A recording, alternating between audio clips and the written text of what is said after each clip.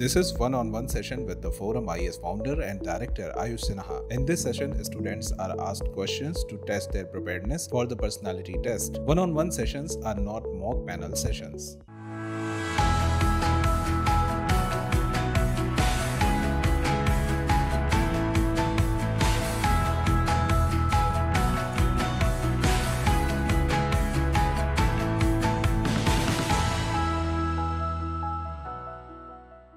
कुछ और इश्यूज़ हैं सर वो डिस्कस कर लूँ मैं पहले? बताओ हाँ बताओ। सर एक तो क्या हो रहा है बिकॉज़ सर ये इतना डिले हो गया मुझे थोड़ा सा I mean it's not a good thing to say but थोड़ा सा फटीक फील हो रहा है सर बिकॉज़ हाँ। हो क्या है sir because when I was starting मैंने बहुत सी चीज़ें प्रिपेयर करी आंसर्स भी बनाए एक क्वेश्चन का एक प्रॉपर uh, सीक्वेंस बनाया कि ये पूछा जा सकता है।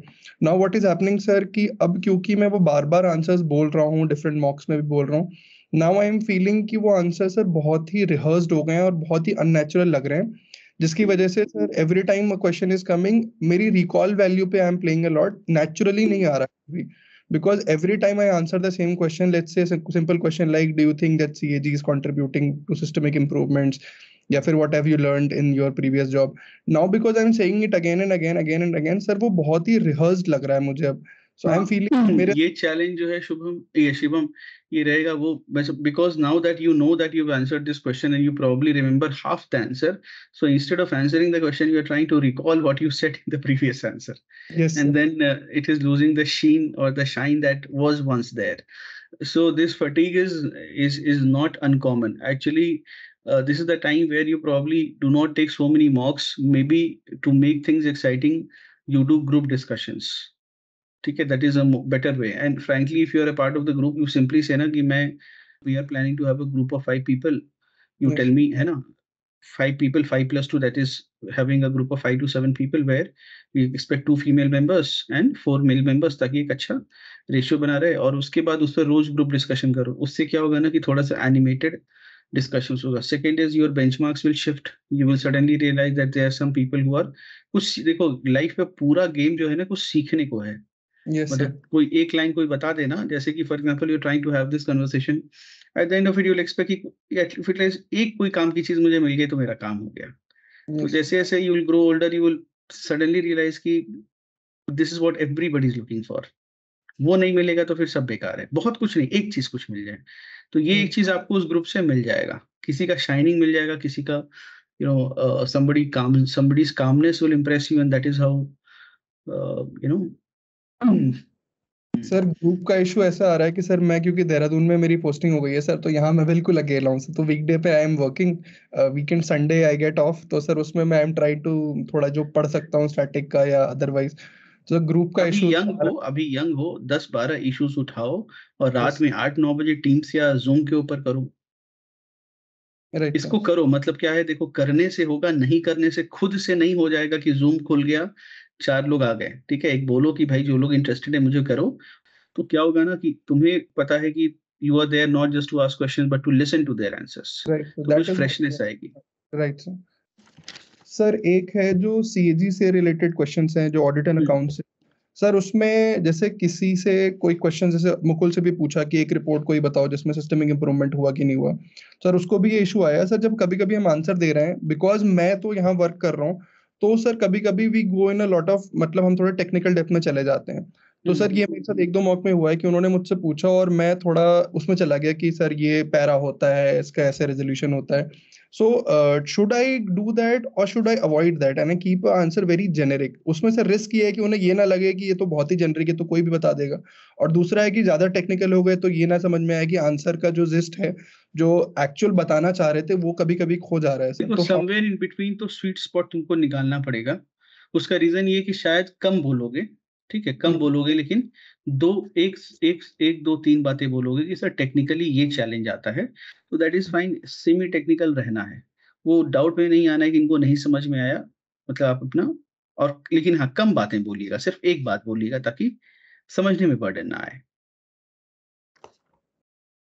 ठीक है सर सर इसमें मतलब ऑडिट में जनरली प्रॉब्लम क्या आती है कि जो ऑडिट में सर मैं जब भी कोई एग्जांपल देने की कोशिश करता हूँ जैसे कि मैं जिन चीज़ों पे काम कर रहा हूँ जैसे पब्लिक हेल्थ इंफ्रास्ट्रक्चर पे अभी ऑडिट कर रहे थे सर हम लोग फिर पी आर को ऑडिट कर रहे थे seventy four seventy third amendment तो सर मैंने एक दो मॉक में जैसे I mention it then it Hmm. opened a different world altogether फिर वो they entered into the field अब सर एज एन ऑडिटर दो जो दो महीने से मैं कर रहा हूँ sir then because hmm, Preeti hmm, बार फ़ील्ड उसमें है sir she was health secretary भी थी। सर वो हमारे एकेडमी भी आई थी तो उनके साथ ही हुआ एक बैचमेट के साथ कि ही हम्म। Said something and then ma'am went into lot of deep depth in health sector तो सर हम्म, वो बहुत मुझे जब भी मैंने answering this is my very personal सब प्रॉब्लम हो रही है। हम्म, जब मैं भी कुछ बोलना चाह रहा हूँ तो मैं बहुत फ़िल्टर लगा रहा हूँ क्योंकि मुझे डर ये लग रहा है कि मैं बोल तो दूँगा पर उसके बाद फिर that arena will open and फिर अगर वहाँ पे घुस गए तो मैं बहुत गलत फंस जाऊँगा।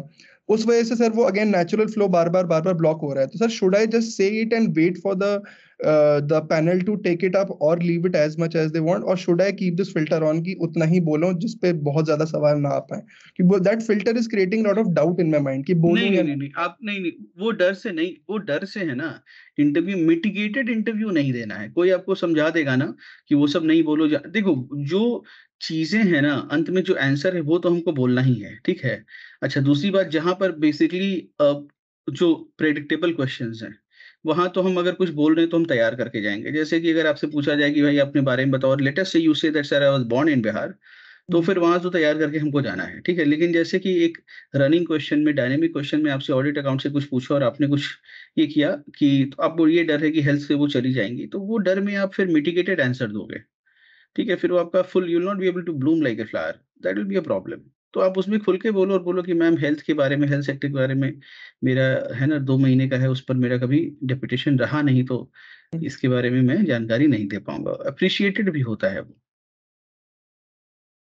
सर मुझे बस आप the two things that I have in my mind sir मेरे मॉक्स हमेशा अच्छे जाते हैं बट पता नहीं लास्ट मतलब मेरे को फाइनल इंटरव्यू में दोनों बार बहुत ही एवरेज मार्क्स मिले हैं। Sir what is going wrong या right I because mock sir मैं एक्चुअली मॉक से भी मैं थोड़ा सा डिसइंटरेस्टेड हो गया because sir I gave three four mocks और सब में रिव्यूज़ अच्छे आ रहे थे कि you are doing good all were good to be very honest sir but वहाँ पे कुछ गड़बड़ हो रहा है, जिस वजह से मार्क्स नहीं आ रहे हैं। So what should I do in this last one month की फ्रेशनेस भी रहे एक्साइटमेंट भी रहे? बिकॉज़ सर वो आठ साल का जो पूरा मुझे बैगेज फील हो रहा है लास्ट की सिर्फ़ लास्ट टेन फिफ्टीन डेज़ में तो sir I have been so frustrated because ऐसे बैगेज फील हो रहा है कि अभी बस खत्म हो जाए। So I don't want to go into that day thinking कि बस ये आज खत्म हो जाए because this is going to be an important day और इतना टाइम दिया है तो sir what do you think I should do just to keep my excitement going कि नहीं उस दिन का इंतज़ार करना है विद एक्साइटमेंट एंड वो एक्साइटमेंट रहेगी सर तो प्रिपरेशन तो हो जाएगी। So what can be done in that मैं to just पता है देखो Shiv it is about realisation पर मैं जेन्युइनली बोलूँगा कि जिन लोगों ने 200 प्लस स्कोर किया है मतलब नेचुरल स्कोरर्स नहीं, जिन्होंने मेहनत करके स्कोर किया मतलब पहले खराब थे, फिर अच्छे थे, उन लोगों ने क्या किया कि बड़ा मेहनत करके एक या दो लाइन का आंसर तैयार किया, ठीक है? और सोचा and they they were extremely joyous because they then had a second eureka moment ठीक है? जैसे कि एक क्वेश्चन था, जो मैं भी बोलता हूँ, कि मतलब रीजंस फॉर बिहार बैकवर्डनेस अब क्या होगा ना कि इसमें बहुत सारी बातें everybody will begin from permanent settlement to freight equalisation policy लेकिन एक थॉट अगर दोगे तो बहुत अच्छे से कुछ बच्चों ने आंसर किया कि sir Bihar remains backward because we miss the liberalisation bus of 1991 ठीक है? मतलब for two decades we prioritise social justice and thanks to the post politics and the other states made good progress and newly liberated equalise social groups you know they captured power and they were not able to handle the governance of the state so that is the reason why today if you ask me why we are backwardness and apart from that ma'am there are several other historical and geographical reasons तो अब ये है ना कि तुमने एक नया perspective नई बात की ठीक है तो इससे तुमको एक्साइटमेंट थोड़ा सा आएगा क्योंकि ये है ना ये एकदम बर्ड्स आई व्यू है ठीक है एक नया perspective it's not it is not scandalous it's very clear cut जैसे कि एजुकेशन सिस्टम क्यों फेल कर गया बिहार में तो several reasons are there ma'am but one reason watershed movement was that ma'am while uh, when Jayaprakash Narayan ji gave the call for total revolution. That was the point when, yes, politics was deeply embedded in the, in the student uh, higher education universities. And that was the time when people started moving out to Delhi for higher education because of this campus politics. And unfortunately, Bihar never recovered from it. एक छोटा सा बात है तुमने एक बात बोल दी ना ये तुम्हारा लगता है कि यार बहुत वेल थॉट आउट तो ये तुमको जॉय तुमको आएगा अंदर से आगे तुमको लगेगा कि यार मैंने इतना सोच कैसे लिया है ना हम्म अगर सोचोगे तो तुम्हें एक्चुअली में लगेगा कि वही रीजन भी वही था क्योंकि उसके पहले कश्मीर से पढ़ने आते थे पटना यूनिवर्सिटी लोग तो ये वाली चीज़ है ना इसको डिस्कवर करने में थोड़ा सा लगो तुम ये सोच रहे कि एक ही बात अगर बोलनी हो तो मैं क्या बोलूँगा? उसके बाद और कुछ बोलना है, बोल दो। थक गए सर, ये सब अब सोच के भी ना लगता है कि इट्स बीन सो लॉन्ग मतलब समटाइम्स आई एम सरप्राइज़ कि अभी तक कैसे आ पाया है। आई एम प्रीटी श्योर कुछ तो अच्छा लिखा होगा तभी आए हैं, सर। अदरवाइज़ सर, दिमागी रूप से ना, सर, बहुत ही मतलब वो कहते हैं ना डन विद इट हो गया है। But just trying every day to keep the sir excitement is something that is only क्योंकि when I read three newspapers in a day it really I really like it कि I am so updated when I talk to lot of my colleagues even so that is one thing that I am liking it but sir कभी कभी बस when somebody asks me about it then I try to get very mechanical क्योंकि then I think of a perfect answer. Had मैं एक और बोलूंगा ना शिवम थोड़ा सा है ना अगर क्योंकि मेच्योरिटी वो तुम्हारी तब आएगी ना थोड़ी सी। मतलब मेच्योरिटी एज इनकी तुमको शाइनिंग शाइनिंग तुम्हारी। मेच्योरिटी तो नहीं बोलूँगा शाइनिंग तुम ट्विटर वगैरह पर एक्टिव हो जाओ ना और दो दो तीन तीन लाइन लिखना शुरू करो। तुम्हारे पास लिखने का एवेन्यू लिखोगे ना तो जेनरिक बात है तुमको पता है, नहीं लिखूँगा, नहीं तो लोग कहेंगे, क्या बकवास कर रहा है ठीक है? जब तुम थोड़ा जो भी पढ़ रहे हो ना and then you really like it ना, उसको तुम दो, तीन लाइन है ना मतलब कुछ नहीं, तुमको ट्विटर पर लिखने का एक फ़ायदा ये है ना कि दस मतलब you technically you can have one sentence and that is a tweet ठीक है एक ऑब्जर्वेशन तुम कर देना। ठीक है sir thank you sir I will follow up on these मैं ये सारी चीज़ें करता हूँ सर ठीक है चलो बेस्ट विशेस ठीक है? Thank you sir thank you okay okay